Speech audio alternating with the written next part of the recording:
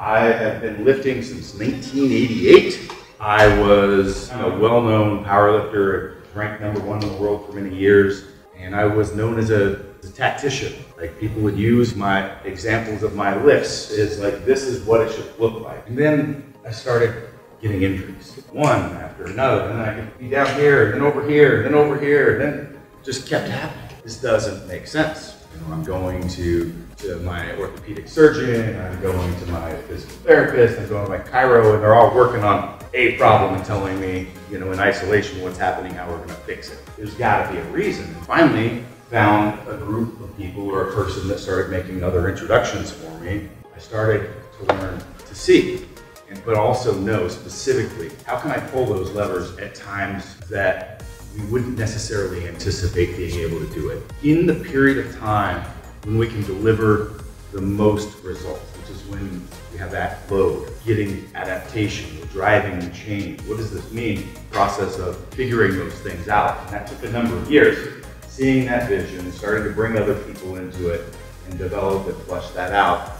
This ostentatious vision of being able to help others be able to, to do this. Much of this, at this point, has become ubiquitous within the strength training realm. You hear so many people talking about these concepts that weren't out there in the strength world being discussed whatsoever. It's really amazing to see that so many people now are speaking, why are you here? What can we add since there's so many people saying some of the same things? Even when I look around, I, I said I should take it as a compliment. Like so much of these discussions and movements and drills and theories are, are out there in, in the world being talked about, but at the same time, when you look at the people that are still out there in the large, the depth of knowledge and really understanding the nuance of bracing and foot mechanics and how that relates to squatting heavy, picking things up, parroting the same language, parroting the things that are that are being said without the depth of understanding that you guys are going to get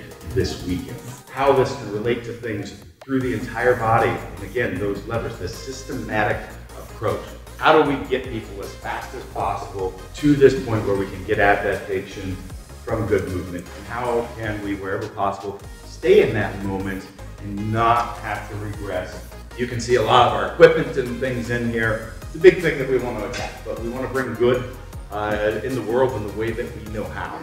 Live better through strength become more resilient, to challenge ourselves, but to do so in ways that allow us to adapt. The ability to rapidly accommodate variability of an individual's ability restrictions, training needs, but forcing everybody to, to work around and with stuff doesn't necessarily fit all the shapes and sizes and functions of our body.